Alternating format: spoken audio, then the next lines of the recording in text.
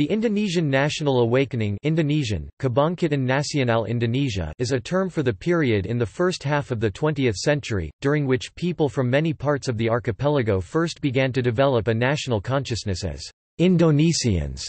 In the pursuit of profits and administrative control, the Dutch imposed an authority of the Dutch East Indies on an array of peoples who had not previously shared a unified political identity. By the start of the 20th century, the Dutch had formed the territorial boundaries of a colonial state that became the precursor to modern Indonesia. In the first half of the 20th century, new organizations and leadership developed. Under its ethical policy, the Netherlands helped create an educated Indonesian elite. These profound changes amongst the indigenous Indonesian population are often referred to as the Indonesian national revival. They were accompanied by increased political activism and culminated in Indonesian nationalists proclaiming independence on 17 August 1945.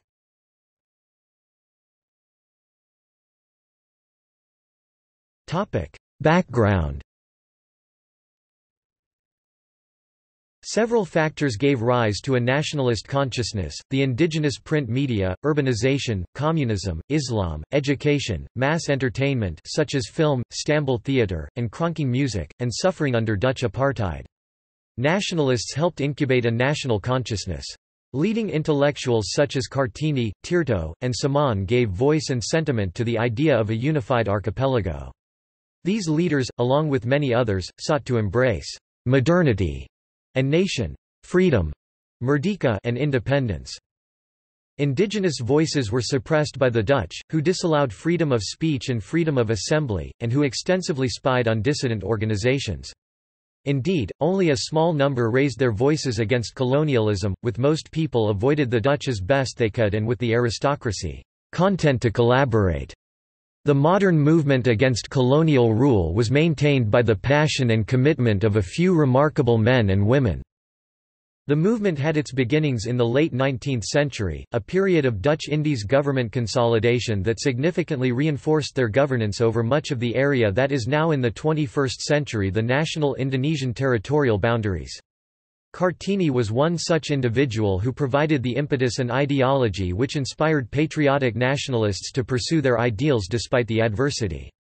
Kartini's intellect was awakened by quality Dutch classical education and her traditional Islamic beliefs and education. Kartini was supported by an enlightened and intellectually endowed family and friends in Europe and Indonesia. Kartini maintained her inquisitiveness and incorporated feminist principles, community welfare and education in her pursuit of the national Indonesian identity and her quest to modernize her traditional society, advocating changes in gender status and principles of individual and national self-determination to realize the Indonesian universal dream of independence and self-governance.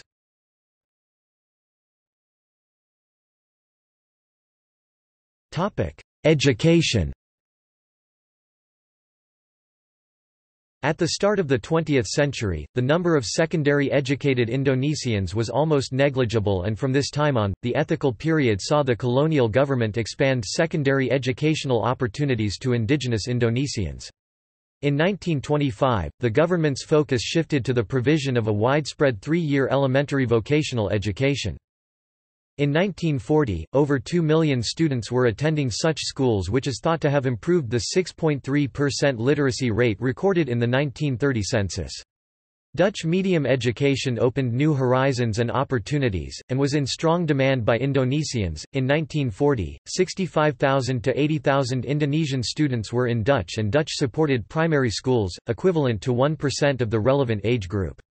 Around the same time, there were 7,000 Indonesian students in Dutch medium secondary schools.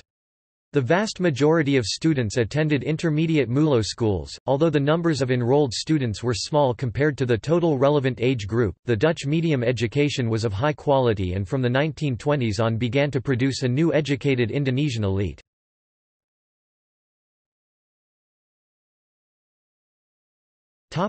Indonesian nationalism The ethical period's emphasis on education did not deliver widespread educational opportunities, however, it did provide a Dutch education for the children of the indigenous Indonesian elite. Largely intended to provide clerical labor for the growing colonial bureaucracy, the Western education brought with it Western political ideas of freedom and democracy. During the 1920s and 30s, this small elite began to articulate a rising anti-colonialism and a national consciousness.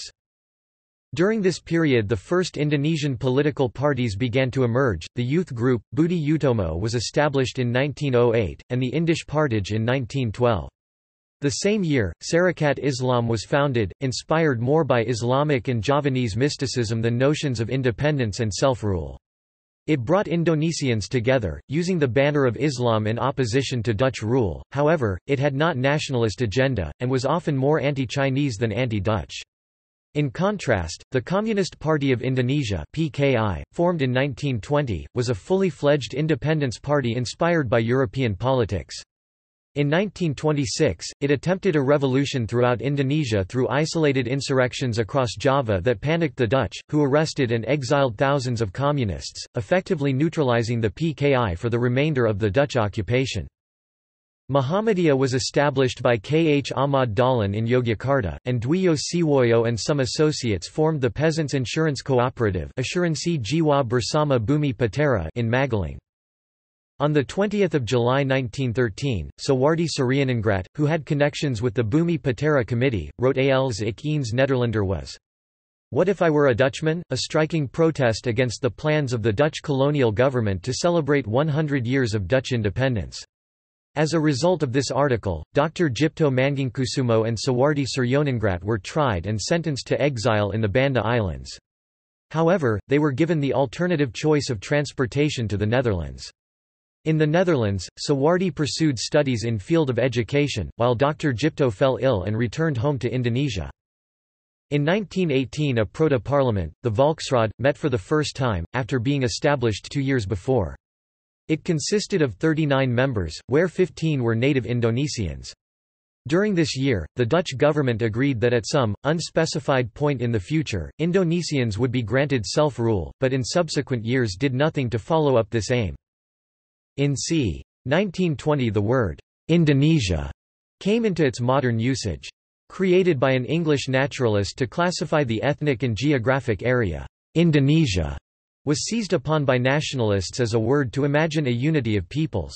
Previously the youth alliances had talked about a separate Balinese nation, Javanese nation, Sumatran nation, and so on, now Indonesia spoke of a single people.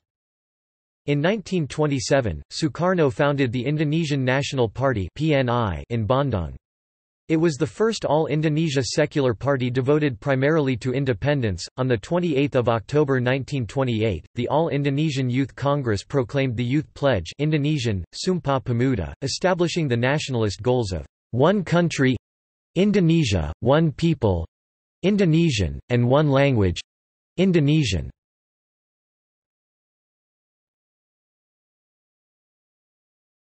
Topic: Repression of Indonesian nationalism Political freedoms under the Dutch were limited at best. While Dutch aims to «civilize» and «modernize» the peoples of the Indies sometimes led to tolerance for native publications and organizations, the Dutch also strictly limited the content of these activities. Like many leaders before him, the Dutch government arrested Sukarno in 1929 and placed a virtual ban on PNI. Indeed, the Dutch colonial government repressed many nationalist organizations and jailed a variety of political leaders. Although the Dutch were unable to completely stifle local voices for change, they did successfully thwart widespread agitation.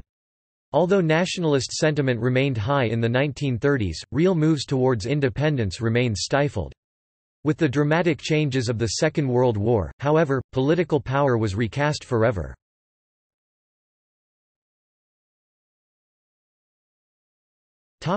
End of the colonial state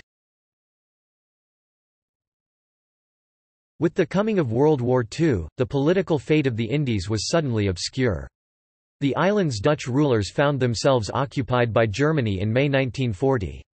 Themselves occupied by foreign rulers, the Dutch were in a weak position to guarantee their rule in the Indies. Yet, the colonial government in exile was determined to continue its rule over the archipelago. In early 1942, Imperial Japan invaded the Dutch East Indies.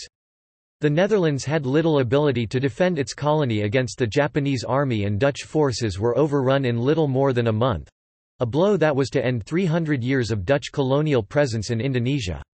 The changes under the subsequent three-year occupation were so numerous and extraordinary that the subsequent watershed, the Indonesia Revolution, was possible in a manner unfeasible just three years earlier. After the Japanese surrendered to the Allies in 1945, the Dutch sought to resume colonial control over the Indies. In these aims, the Dutch obtained the military backing of the British who fought bloody battles on Java to restore Dutch rule. The Indonesian nationalists, despite heavy losses, were not to be deterred. By 1945, an idea of Indonesia was seemingly irresistible.